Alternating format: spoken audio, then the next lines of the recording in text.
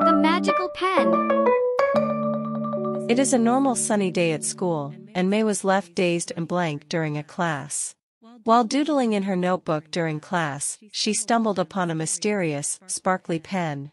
When she used the pen to draw a whimsical butterfly, it miraculously came to life. May held unbelievable thoughts and drew another frog in her notebook. Unbelievably, the frog came to life and hopped onto Jonathan's head. The magical pen granted her the incredible ability to bring her drawings to life. During recess, May couldn't resist the temptation to draw a beautiful unicorn. Her classmates were amazed as they watched the magical unicorn scamper around the schoolyard. Though her artistic creations brought immense joy, they also presented unexpected challenges. Once, an enormous dragon emerged from her notebook, creating a little chaos in the classroom. May had to employ her creative problem-solving skills to return the dragon to her notebook. The day was filled with excitement, laughter, and the unexpected joys of her newfound magical pen. Suddenly someone woke her out of imagination, and she was left stumbling as Ms. Lee was staring at her deadly.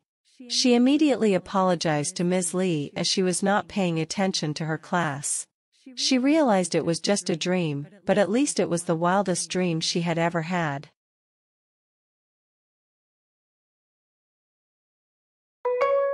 Costume day.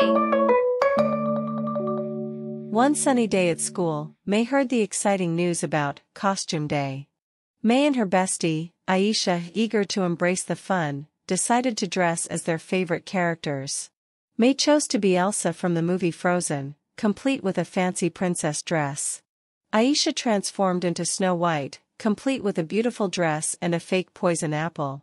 Their classmates also embraced the theme, Luca transformed into Spider-Man wearing a full suit.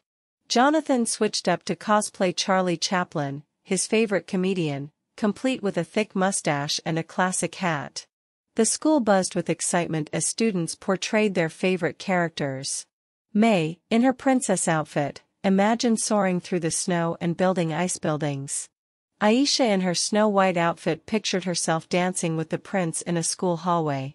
Luca in his Spider-Man outfit visualized saving the world with his special ability and making everyone live in peace. While Jonathan in his Charlie Chaplin outfit made everyone laugh with his skits and jokes. Even Ms. Lee transformed into Wonder Woman, complete with a striking costume and a rope in hand. The day was filled with laughter as they shared historical tales and celebrated their idols. The costume day not only brought fantasy to life but also strengthened their friendship.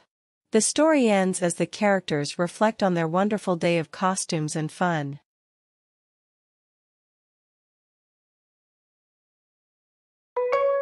A visit from famous author. One morning, their school buzzed with anticipation as a famous children's comic author, Mr. Eddie, was about to pay a visit. Just when May thought it would be an ordinary day, little did she know that today would turn into a magical adventure. The students had watched his enchanting comic, and they couldn't wait to meet him. As Mr. Eddie began to speak, his words seemed to come to life. Characters from his stories appeared to life, much to the astonishment of May and Aisha. Talking animals, daring pirates, and whimsical wizards filled the room. May and Aisha found themselves in the midst of an extraordinary adventure. They befriended a wise owl, helped a brave knight, and even rescued a captured princess. The visit was not just an ordinary author talk, it was a fantasy journey. As the magical wind subsided, May and her bestie returned to their classroom. The experience of being a part of Mr. Eddie's stories left an indelible mark on May and her classmates.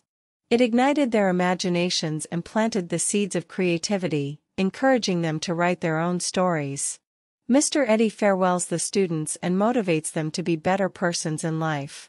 May is inspired by Mr. Eddie, she wants to be an author that brings joy to everyone.